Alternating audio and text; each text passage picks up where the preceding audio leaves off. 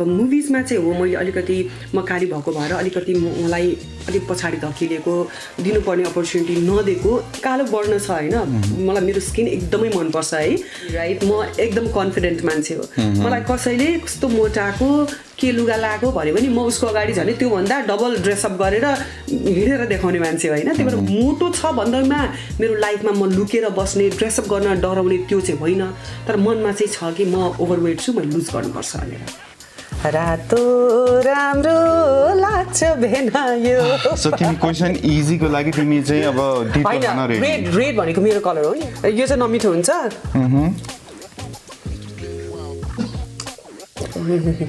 हो, मिठो नमिठै। रहेछ।